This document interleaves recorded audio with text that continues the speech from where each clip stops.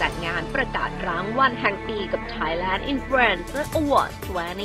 2022หนุน Influencer ไทยและเอเชียแปซิฟิกพร้อมสร้างมาตรฐาน content ที่ดี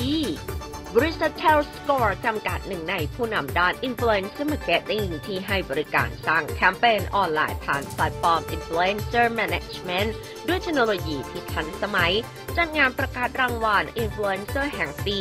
หรือ Thailand Influencer Awards 2022 เพื่อเฟ้นหาคนคุณภาพและมอบรางวัลให้กับผู้ทรงอิทธิพลทางความคิด ที่ทำผลงานยอดเยี่ยมในช่องทางดิจิทัล โดยในปีนี้ได้นำเสนอมุมมองการสร้างสรรค์ผลงานภายใต้แนวคิด forward looking forward thinking forward moving forward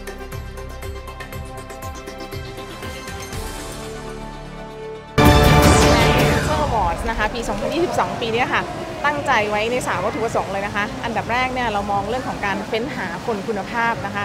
แล้วก็ได้อินฟลูเอนเซอร์ดีๆนะคะมาร่วมงานกันเป็นร้อยคนต่อปีนะคะเพื่อที่จะส่งพลังออกไปค่ะว่าแบบอย่างเป็นอย่างไร อันดับที่2นะคะเรื่องของการทำ content standard นะคะหรือว่ามาตรฐานคอนเทนต์นะคะรักษามาตรฐานคอนเทนต์ให้ดียิ่งขึ้นไปอันดับที่ 3 คือเป็นพื้นที่ค่ะเป็นพื้นที่ที่ทำให้อินฟลูเอนเซอร์ได้พบปะเอ่อพบปะกันเองด้วยนะคะแล้วก็แบรนด์กับเอเจนซี่เนี่ย ก็สามารถที่จะเจออินฟลูเอนเซอร์ อินฟลูเอนเซอร์ก็สามารถเจออินฟลูเอนเซอร์กันเองได้นะคะ ถือว่าเป็น community แบ่งปันค่ะโอเคค่ะ อันนี้ต้องขอบคุณนะคะ กระแสตอบรับงาน Thailand Influencer Awards ปีนี้นะคะ 2022 เนี่ย ออกมาดีกว่าที่คิดค่ะ คิดว่าปีนี้นะคะงาน Physical Event นะคะ ในทุกๆหลายงานเนี่ยผลตอบรับดีเพราะว่าตลาดเปิดนะคะ เพราะฉะนั้นเนี่ยอันดับแรกเลยคนให้ความสนใจมากขึ้นนะคะ จากเราเนี่ยเป็นงาน RSVP นะคะ หรือจองเนี่ย ประมาณ 350 ท่าน ปรากฏว่ามาจริงเกือบ 600 ค่ะ ก็ต้องขอบคุณในความอบอุ่นนี้ด้วยค่ะ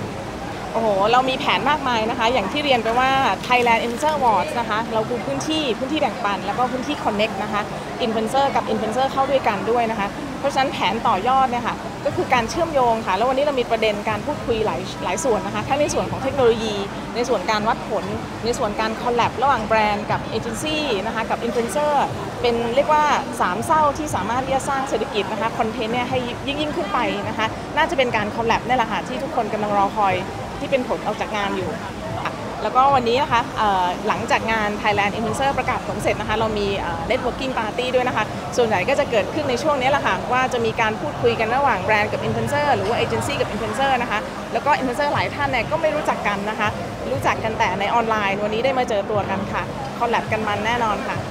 อยากให้ทุกคนนอกจากมาดูไลฟ์นะคะมางาน Thailand Influencer Awards เนี่ยอยากให้สนับสนุนนะคะ จริงๆ เราไม่ใช่แค่กดไลค์กดแชร์ แต่ว่ารู้สึกว่าอยากให้เห็นอินฟลูเอนเซอร์ค่ะว่า เป็นคอนเทนต์ที่มีความสำคัญกับการสร้างเศรษฐกิจสังคมนะคะแล้วก็มีคอนเทนต์ดีๆมากมายนะคะมากกว่าการทำรีวิวสินค้า